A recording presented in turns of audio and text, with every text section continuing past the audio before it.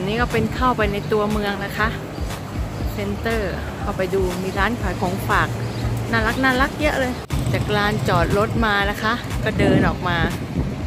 town centre นะคะก็มีร้านขายของฝาก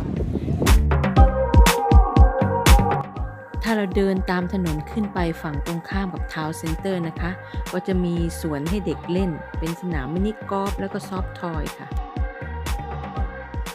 จุดนี้มองจากหมู่บ้านลงไปท่าเทียบเรือนะคะ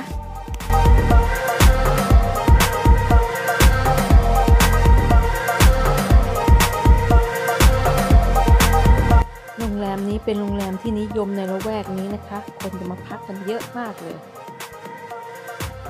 นันนิคะฟานไอซ์แลนด์เดี๋ยวเราจะลงเรือไปเที่ยวกันค่ะ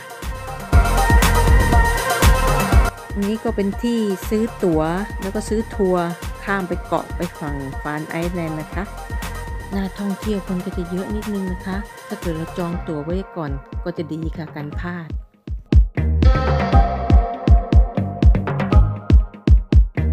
ระหว่างรอขึ้นเรือแล้วก็พากันไปสำรวจรอบๆ นิดนึงนะคะ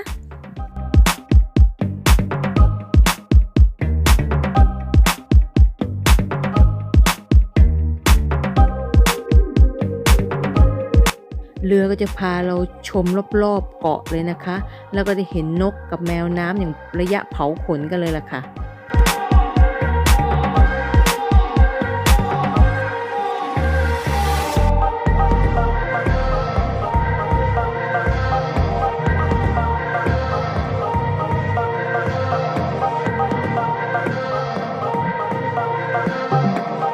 กระซิบแม่เวลาเข้าไปใกล้เหม็นขี้นกมากเลยค่ะ